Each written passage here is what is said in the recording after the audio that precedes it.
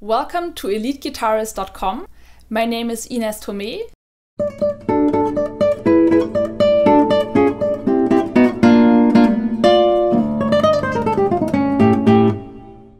And today I will show you how to play Un Dia de Noviembre by the Cuban composer Leo Brouwer. It's a very dark and sad, but also very lyrical piece, and not the typical Leo Brouwer piece you might have heard before. It's originally written for a movie. I would like to thank GSI Guitar Salon International in Santa Monica for allowing me to use this beautiful Sakurai guitar from Japan and it's a 2017 model so it's brand new. I might be the first person actually playing on it. So I hope you enjoy it throughout the video. Thank you. So now we are going to start uh, measure one. Actually the piece starts with a pickup so um, it's an A minor so that's the chord we need in measure one just our plain old A minor chord but we start with the pickup A B open B string. And you can already use your third finger here for this A. Um, you don't have to, you can you can switch, but I like it. Um, then you can just put down the A minor chord in measure one.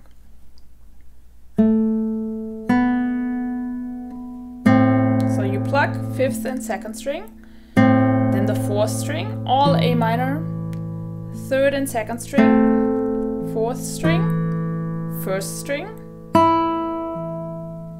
and 4 again. That's the first measure. So already here, even though we're just starting to play the notes, really make sure that you bring out the melody. So the melody would be A, E, and so on. So let's do that just with, with all the notes.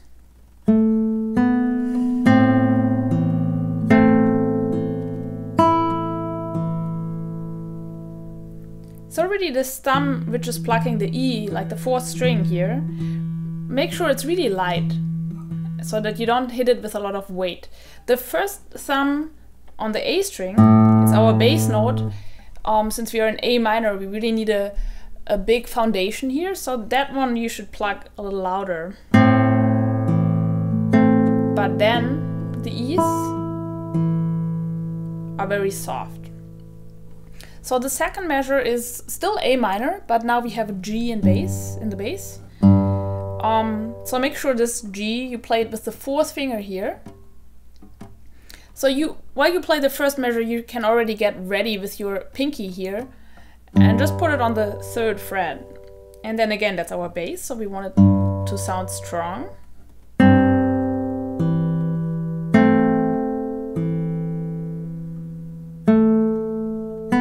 And again our A, B pickup. We move in measure 3 to this chord.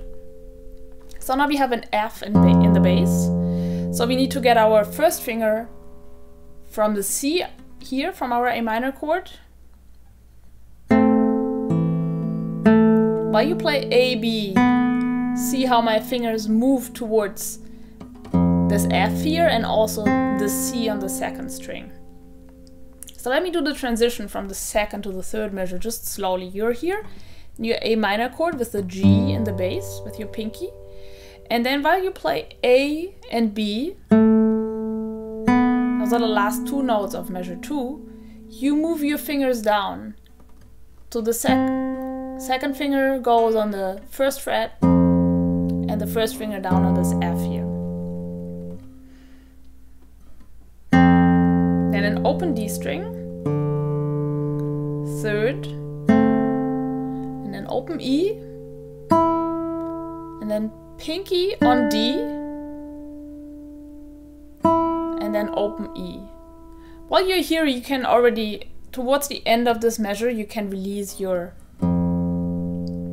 first finger like on the very last chord to get ready to the next one. But just do it very late so that this F really gets a good ring throughout the whole measure. So let me do the first three measures for you. So this is A, B, pickup. measure 1 A minor. always bring out the melody. Now pinky is ready, goes on the third fret. A, B, pickup again. Now you move and get ready with your first and second finger. Open E.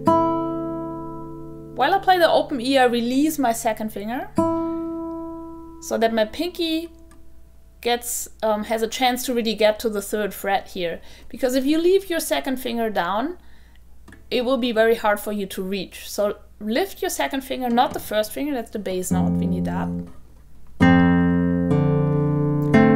Lift the second finger, pinky on D, and then open E. And now we move to a, essentially a C major chord but with a G in the bass. So not this one, but this one. You can arpeggiate that if you want to. You don't have to. It's six, four, three, and two. And then the arpeggio which follows is third string, fourth string, third string. And then the second phrase would start. So that's the end of the first phrase. And notice how I play the the top of this arpeggio the C is the loudest note.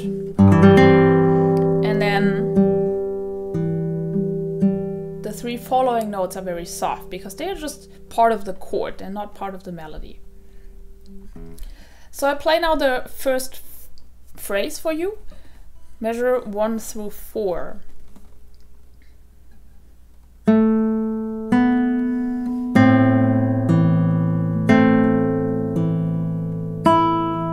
Pinky gets ready.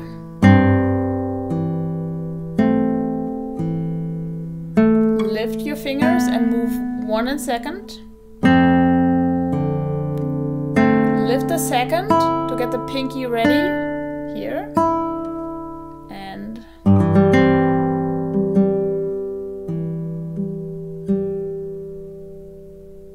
that's the first phrase.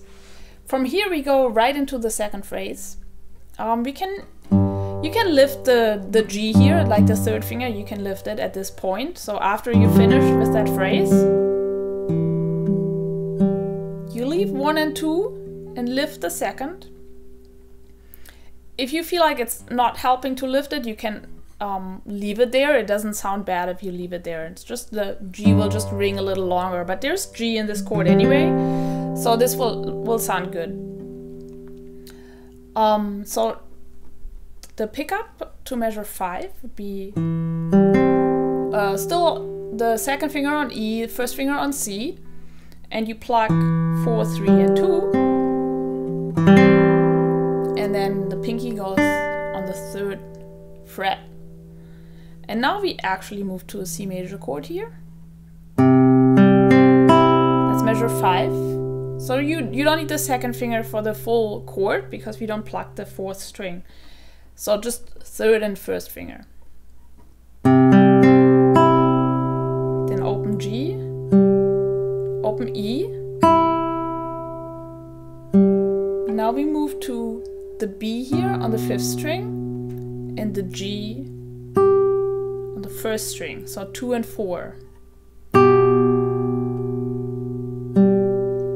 And Now measure 6, we go back to A minor. So you can put down the full A minor chord already.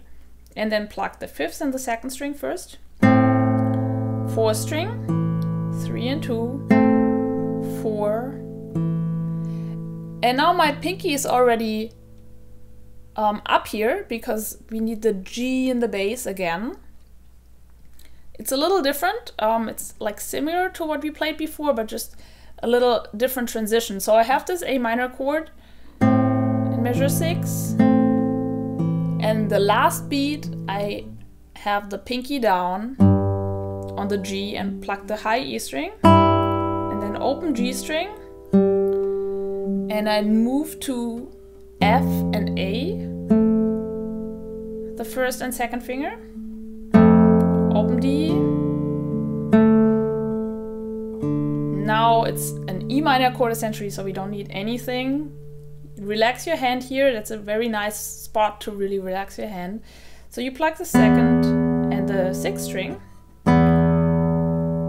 open G, and back to A minor. So you don't need to, don't put the first finger down yet, but we will put it down eventually, so you already use third and second finger.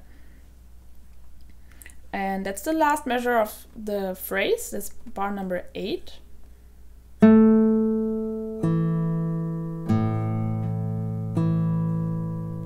And here is where our repeat starts. And then we would repeat from measure one.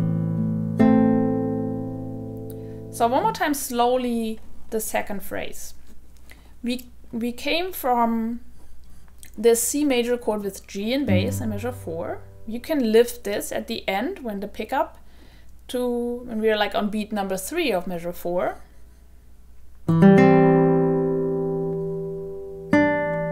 And now we go to C major, pluck the fifth string, third, second, and first. G, third string. Now two and four on fifth and first string. And back to A minor. Get your pinky ready already. Here. G and E. Open G. And now one and two on F and A.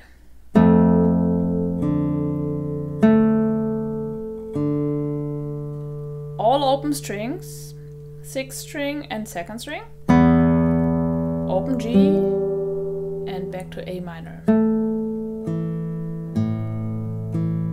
And then pick up, brings us right back to the beginning. So I will now repeat measure 1 through 8, that's the whole first section of the piece, the A section.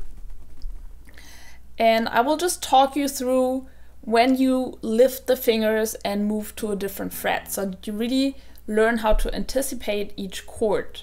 Because the idea of this piece is that's very legato, it's very um, lyrical, and it should be all connected. So you want to have a really smooth transition through the chords. You don't just want to play the A minor, A minor chord and then move to the next chord and there is a gap in between. So um, in order to reach that goal, um, that you get like really smooth and have the fingers move without any gaps in between and get it all connected, you need to move the fingers already while you're in the first chord and lift certain fingers at a certain time. So let me play that one more time. A minor goes down.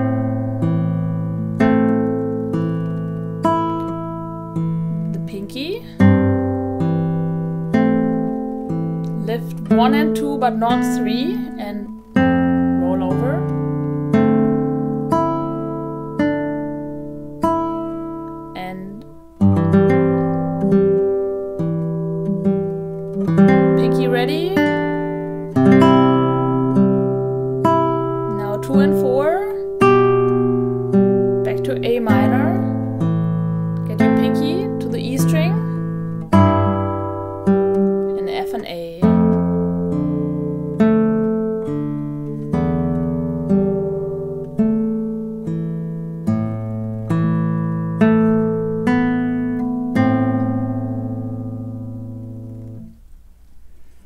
So really the goal for the whole piece essentially is to be as connected as possible, really as legato and lyrical as you can be.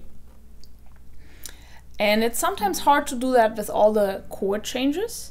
But if you just do the chord changes very smart, um, then you can make it actually work that there are almost no gaps in between. In the A section, that's working out pretty well if you just release certain fingers at a certain time and leave other fingers down.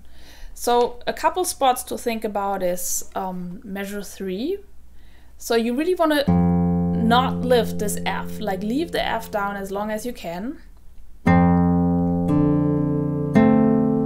But here to reach the D, with your pinky, you need to release the second finger. So release the second finger and then you can move your elbow a little more inwards to really reach the pinky here. And I'm just kind of like rolling over my first and third finger. So this is really the movement here in measure three.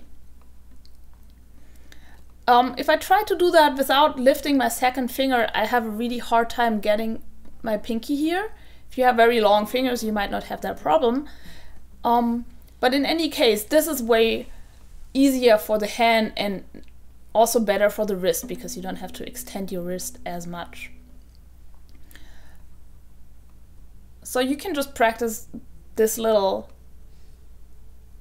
section measure three a couple times to really get the movement smooth and so that it doesn't hurt you and you still reach everything. Let's now move on to the B section of the piece.